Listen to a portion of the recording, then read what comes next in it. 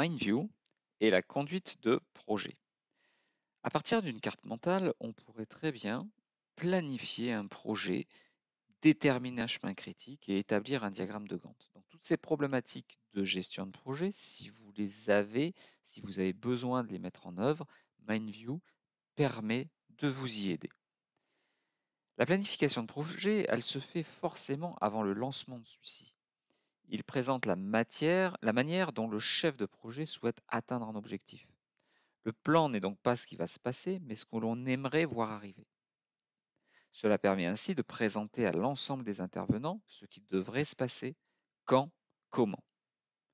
Il permet ainsi à chaque acteur de se situer dans le projet et de prendre conscience de son rôle. Bien entendu, au fur et à mesure des modifications, on pourra rectifier ce plan et recalculer l'ensemble des durées et des dates à laquelle les travaux doivent s'achever. La planification se fait donc dans l'ordre suivant. On va d'abord dresser la liste des tâches ainsi que les jalons. Je reviendrai sur la définition de ce vocabulaire plus tard.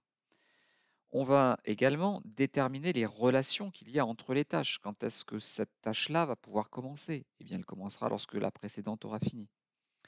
On estimera aussi la durée de chaque tâche.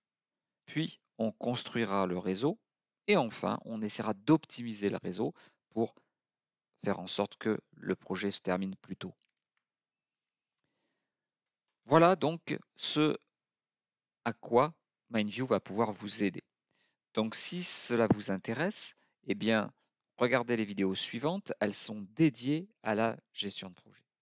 Voilà, j'espère que cette petite vidéo vous a plu, qu'elle a campé le décor des vidéos suivantes.